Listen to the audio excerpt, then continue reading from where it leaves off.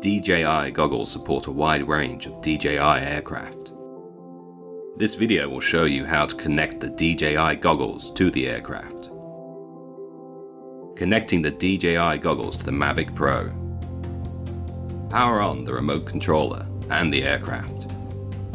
Ensure that the remote controller is linked with the aircraft. Power on the DJI goggles.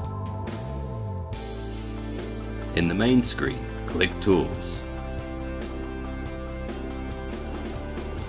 Settings. Linking settings. Quick linking. Confirm. Press the linking button on the aircraft.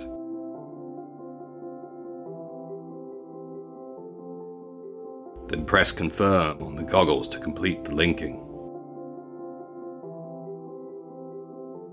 When using the DJI goggles with the Mavic Pro, you can connect the mobile device to the remote controller and launch DJI Go 4 at the same time.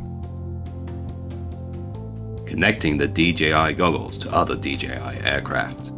Take the Phantom 4 as an example. Power on the remote controller and aircraft.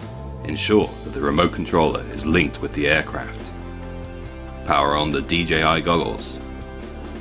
Connect the DJI goggles to the remote controller with the USB cable